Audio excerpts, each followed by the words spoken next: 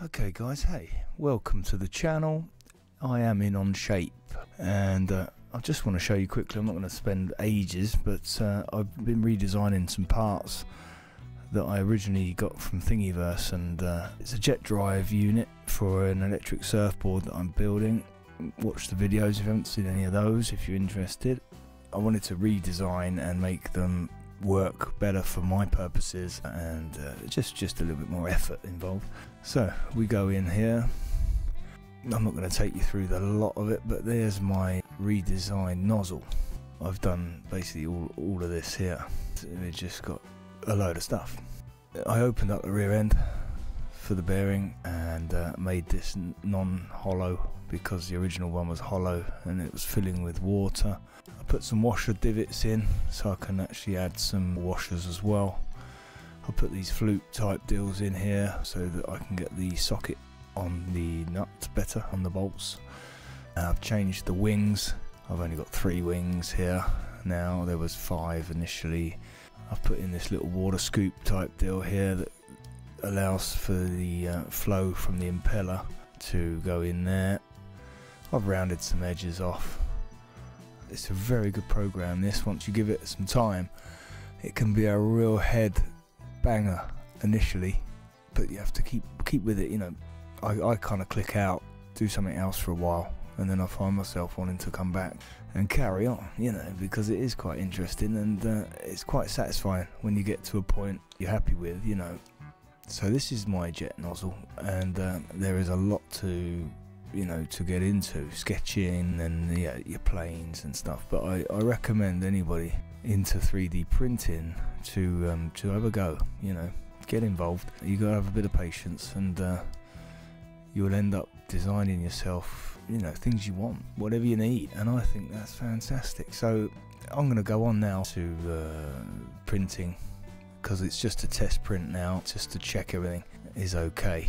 It probably won't be because I've been there before. You'll see the print going and uh, we'll have a little chat at the end. Alright guys.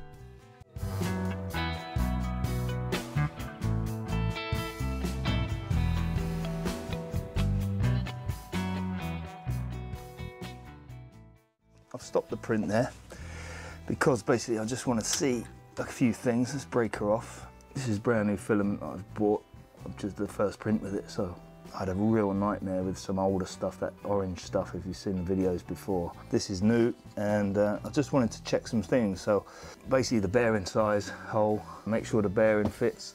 I've made these flute things in, in the part here and uh, I can see the walls a bit thin on a couple of them. And I just wanted to check this um, little water nozzle so instead of wasting filament, if you're designing your own part, it's good to use some old filament if you've got it, but then like, if you're like me, it ran into sort of problems and uh, the build plate wasn't adhering very well either, so I found in the end I just washed it with soap and water. It came out okay. Just want to test the strength of this and uh, it's fairly strong. I've got a couple of bits to redo. I can see a bit of light through the edge of this of this water nozzle. It's just gone a bit deep, I think, with the extrusion. Yeah, other than that, the print kind of came out okay. It looks, the layers look fairly, you know, fairly decent. Temperature is at 200. Bed temperature's at 60, but uh, it stuck well to the bed. I've got to thicken the wall here so that these flutes aren't so thin. I've got to sort out something around this nozzle.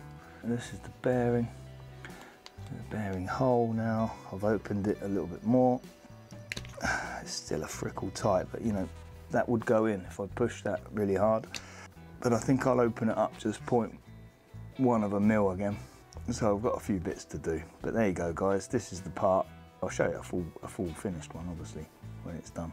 But stick with me, you know, we're doing a bit of Onshape, we're doing a bit of 3D printing, uh, designing, redesigning, which is uh, a, new, a whole new thing for me really, but I'm loving it and I hope you're loving it. So hit those buttons, guys. Become a waysider. There'll be more of this sort of stuff coming up. You know, this is a jet drive unit, obviously, for, for my electric surfboard.